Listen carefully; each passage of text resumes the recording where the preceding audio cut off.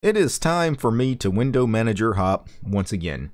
You guys know that I've been window manager hopping a lot since the beginning of the year. I, of course, started the new year still using Qtile, and then I quickly switched to i3. I lived in i3 for about three weeks. That was the first time I had ever used i3, and uh, it was a fine window manager.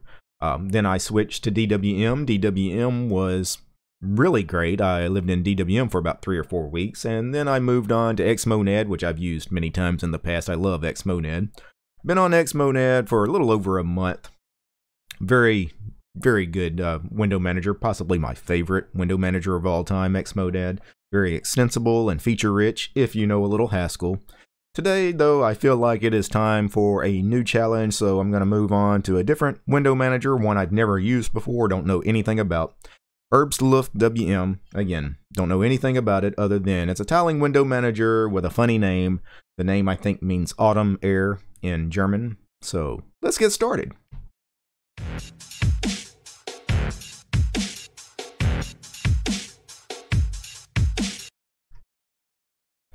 So I've gone ahead and installed Herbstluft WM here on my Manjaro installation. You guys know that I run Manjaro on my main production machine. I have other drives in my systems with uh, other Linux distros also installed. I have about seven different drives in this machine, but the main drive for the work I do on this channel, I, I always do everything in Manjaro.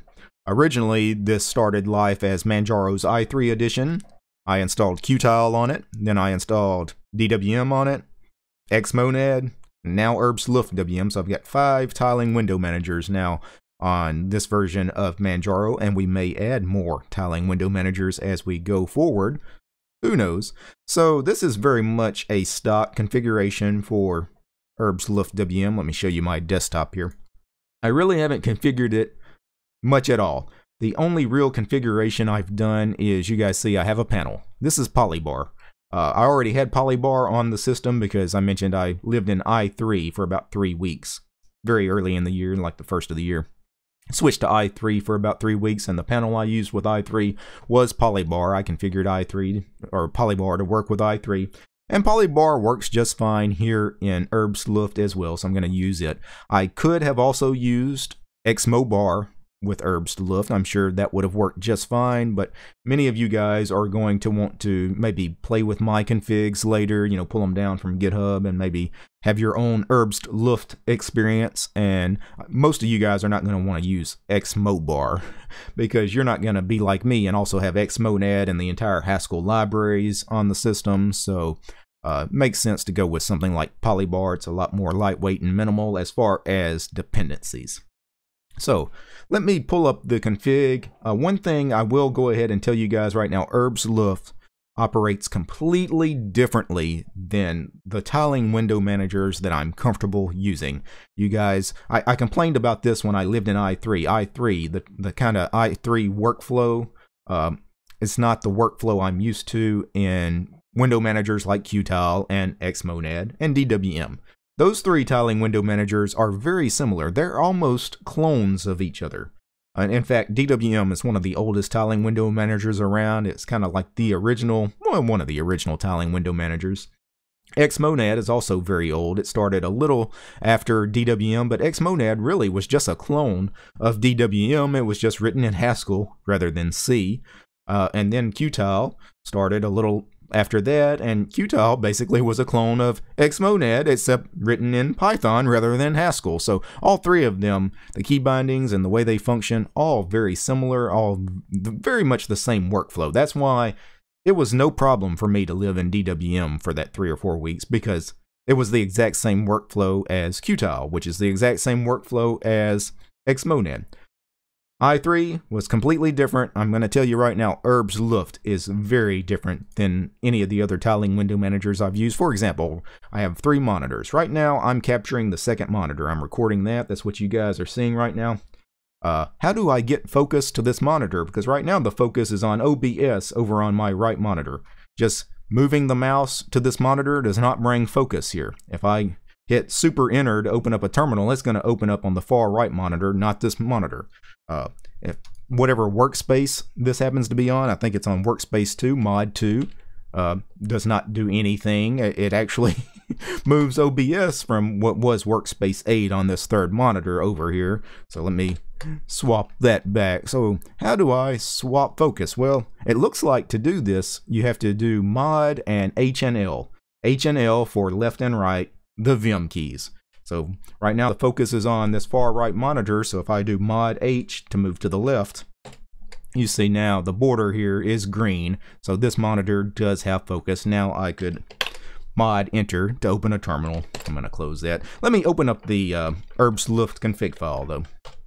So this is my Herbstluft config. It's uh, called autostart is the name of this script. You'll find it in .config slash herbstluftwm slash autostart is the name of the file. Again, this is very much stock Herbstluft. The only thing I really did was at the bottom, you basically this is a bash script, by the way. Um, that is one of the, I guess, pros for Herbstluft.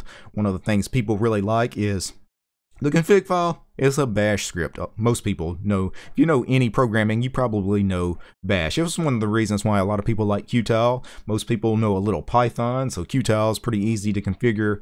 Same thing with Herbstluft, it's a bash script, so you should be able to con configure this thing just fine if you know a little bash scripting. Anyway, at the bottom I added uh, this little information about launching a panel. It launches this particular shell script, uh, panel.sh. Let me zoom in. So I'm using a uh, ST today, so.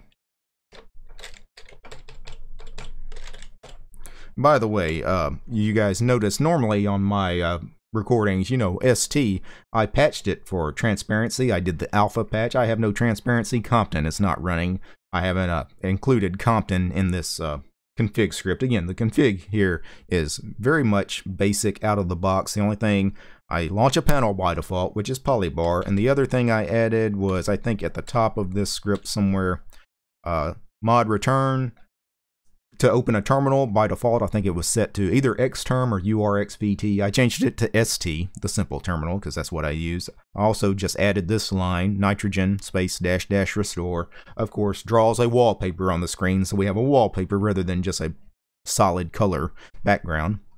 And then the other thing I did was uh, these 30 lines or so are all the terminal applications, uh, th the key bindings for those programs I typically use. It's the exact same key bindings that I used in Qtile, i3, DWM, Xmonad, and now Herbstluft.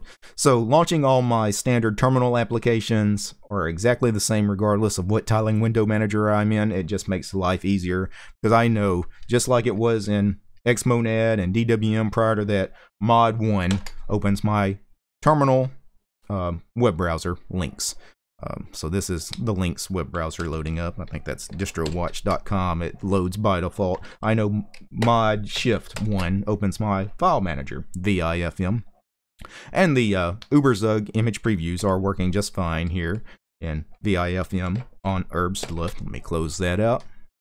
My initial thoughts on Herbstluft, just using it a couple of hours really, is okay, right now I'm recording in OBS. OBS has focus. To get focus on this middle monitor that I'm recording, just clicking on the desktop with no programs open does not shift focus. But if I have a program open, like I have Vim open right now, if I click on it, now that does shift focus to that monitor. So as long as I have a program open, I can actually shift focus with the mouse. But if I don't have anything open, if I close ST and then shift focus back over here to this monitor, I can't just come back and click and shift focus to this monitor without having a program open.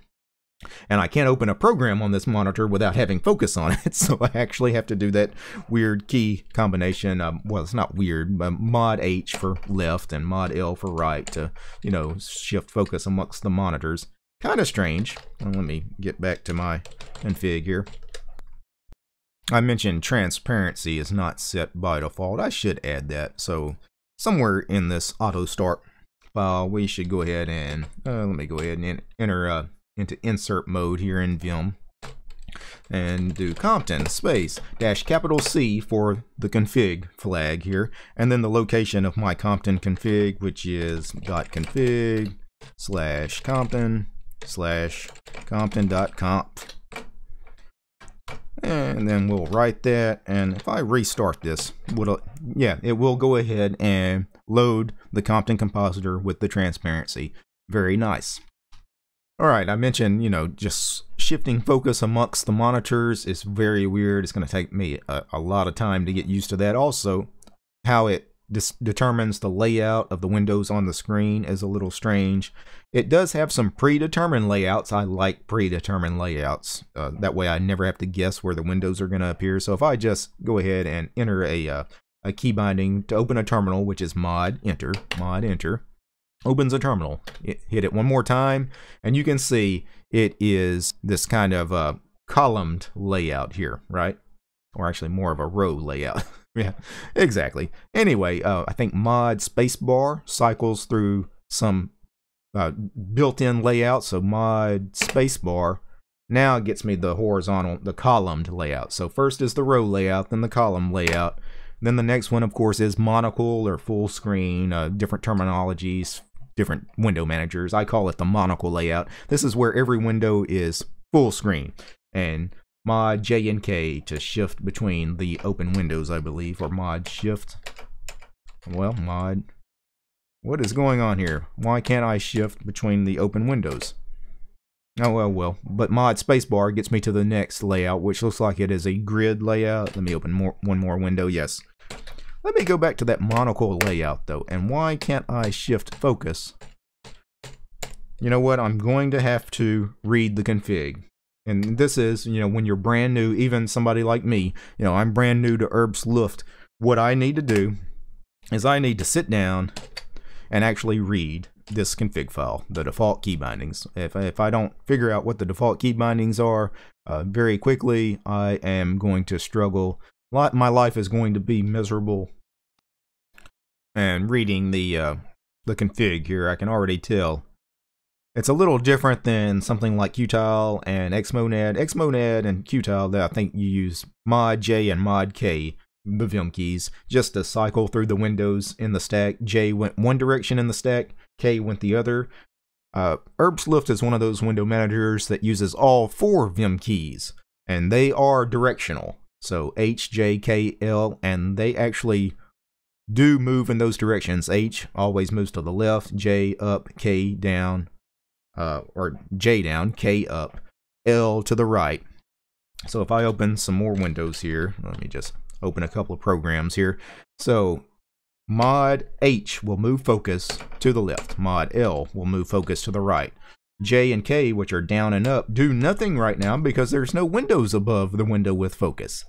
That's strange, where in something like Xmonad, Qtile, DWM, Mod J, and Mod K, are going to move you through the stack regardless of where the windows are arranged. It's always just going to figure out where the next window is. J just went, in, you know, in one direction, K went in the other, but it really didn't matter. But it does matter in Herbstluft, so H, J, K, L are actually left, down, up, right. One other uh, different aspect to Herbstluft is it's more of kind of a uh, manual tiler. So if I go to the middle monitor here, I have focus. You see the border, the green border around the whole monitor. If I hit mod and I think O, you see it splits the right half of this into another area. I could launch a program in either of those borders. So right now the focus is on the left part of the screen, but if I mod L to move to the right, you know, I shift focus to that right blanked area of, of the screen and I could launch something right there, such as a terminal. Let me close the terminal or, you know, I could launch anything here. There's Googler and, you know, anything I want. I could mod H to move back to the left and then launch something here. So I could launch, I don't know, whatever this program, I think it's Glances. Yeah, this is Glances. It's another interactive process viewer, HTOP, if you will. So, and then I could mod, instead of O, I could mod, I think, I, or is it U? Mod U to split under. So, so mod O to split uh, to the right, mod U to split below. So uh, you could keep dividing the screen up however you want to keep dividing it up. And then you could place windows there uh, manually yourself. Uh, I typically don't like stuff like this. I don't like deciding where the windows are going to be myself. I prefer just having predetermined layouts. Typically, in my tiling window manager workflow, I'm only going to use maybe four different layouts max. You know, I need like a master and stack layout, maybe a grid layout, a monocle layout, of course, for full screen for things like browsers and OBS, I typically do full screen. And then you need a floating layout. You're always going to need a floating layout for certain programs. Uh, other than that, I don't really need a whole bunch of layouts, and I really don't need to uh, just decide the layout myself on the fly. I don't like these kinds of uh, window managers. It's one of the things I didn't like about i3. i3 had this. I never used that aspect of i3. Probably not going to use this aspect of Herbstluft. Now, how do I close these predetermined areas that I've created here. Mod R for remove. So mod R will start getting rid of all these until you only have, of course, the one left. You can't get rid of the last one. Uh, and you see it's just a big border around the screen. That's another thing that's kind of jarring to have this border always here. I could, I'm sure in the config file, I could just remove that. The border, is it really necessary? I'm not sure. Not sure if I if I, I need that border there visually. It may help. Uh, it certainly helps to figure out what monitor has focus because uh, Polybar, I can tell you, I haven't played with Polybar on Herb's Herbstluft, but just a minute. Uh, it does not really tell me what monitor has focus because right now my second monitor has focus and it's on workspace 2 but every instance of polybar on all three monitors says workspace 2 right now even though they're not all on workspace 2 just the one with focus so that might be a, a bug in polybar that i have to fix so this is really my first day with Herbstluft uh, like two hours maybe spent in Herbstluft so far just getting it installed getting polybar up and working adding some of my app key bindings, but really I haven't played with the system key bindings, the, the actual window manager function key bindings. I haven't touched at all.